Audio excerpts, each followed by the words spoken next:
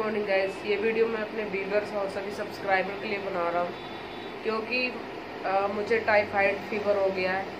And doctor ने बोला कि रेस्ट करने के लिए ट्वेंटी डेज़ इसका दवा चलेगा। इसका कोर्स होता है टाइफाइड फीवर का ट्वेंटी डे तो ट्वेंटी डे भी मुझे रेस्ट करना एंड दवा खा के घर ही पे रहना कहीं पे भी नहीं जाना। ट्वेंटी डे तक मुझे दवा खाना ही खाना है।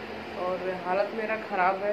इस वजह से वीडियो कोई नहीं आ पा रहा तो अभी वीडियो आगे नहीं आएगा। जैसे ही मैं रिकवर हो जाऊँगा वैसे मैं वीडियो बनाना स्टार्ट कर दूँगा ब्लॉग बनाना। ये देखो, ये सब मैंने चेकअप करवाया।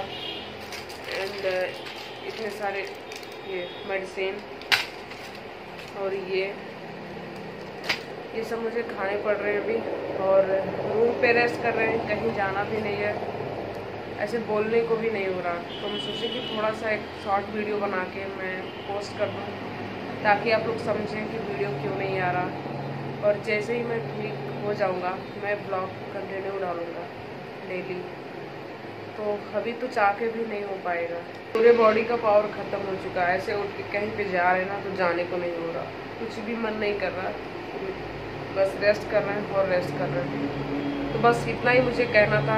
एंड आई होप आप लोग मुझे सपोर्ट दिखाएँगे कि मैं ऐसा नहीं कि मैं वीडियो नहीं डालूँगा। मैं डालूँगा बट जैसे मैं रिकवर हो जाऊँगा, वैसे कंटिन्यू वीडियो आएँगे।